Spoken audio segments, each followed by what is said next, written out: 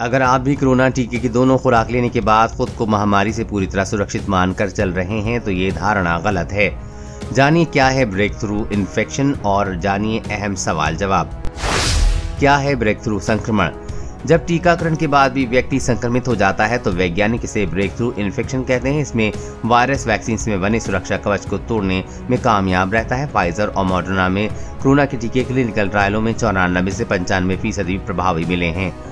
टीका के पंचानवे प्रतिशत प्रभावी होने का अर्थ ये नहीं है कि टीका पंचानवे प्रतिशत लोगों को बचा सकता है, जबकि अन्य पाँच प्रतिशत लोग संक्रमित हो सकते हैं।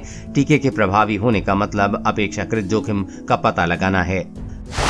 दोनों खुराक लेने के बाद भी संक्रमण कितना आम? अगर दोनों टीके लगवाने के वाला व्यक्ति संक्रमित हो जाता है तो उसमें संक्रमण के लक्षण बहुत मामूली या नहीं भी होते हैं। मौजूदा ब्रेक थ्रू इन्फेक्शन शायद डेल्टा स्वरूप के बढ़ते प्रसार के कारण हुआ है। लेकिन टीके ले चुके लोगों में संक्रमण अब भी विरले है। मसलन, अमेरिका में 1 फरवरी से 30 अप्रैल 2021 के बीच हुए अध्ययन में टीके लगवा चुके एक लाख छब्बीस हज़ार तीन सौ सड़सठ में से छियासी लोगों में ही ब्रेक थ्रू इन्फेक्शन मिला है। इनमें से अधिकांश ने फाइजर, मॉडर्ना की खुराकें ली थी। संक्रमितों का ये आंकड़ा एक दशमलव दो फ़ीसदी रहा है। टीकाकरण के बाद भी संक्रमित हो जाना कितना खतरनाक। अमेरिका में सीडीसी के पास मौजूद आंकड़ों के हिसाब से ब्रेक थ्रू इन्फेक्शन के मामले में 27 फ़ीसदी लोग लक्षण रहित थे। सिर्फ़ 10 फ़ीसदी लोगों के अस्पताल में भर्ती हुए, जिनमें से 2 फ़ीसदी की ही मौत हुई है।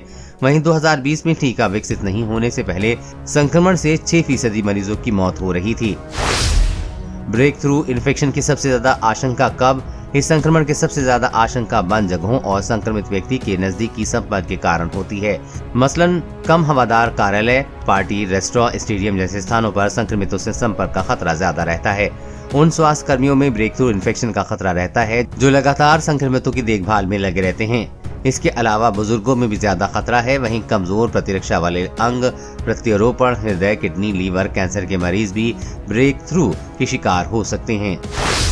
डेल्टा जैसे स्वरूप ने कैसे पैदा किया खतरा?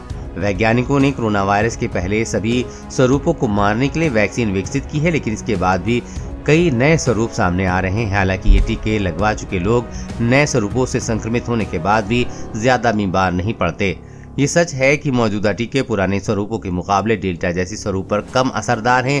ब्रिटेन के जन स्वास्थ्य विभाग के मुताबिक एम आर एन ए टीको को दो खुराक अल्फ़ा स्वरूप पर नवासी फ़ीसदी प्रभावी है, लेकिन डेल्टा पर उन्यासी फ़ीसदी असरदार है। कोरोना वायरस और कोरोना वैक्सीन से जुड़ी हर अपडेट पाने के लिए चैनल को सब्सक्राइब करें।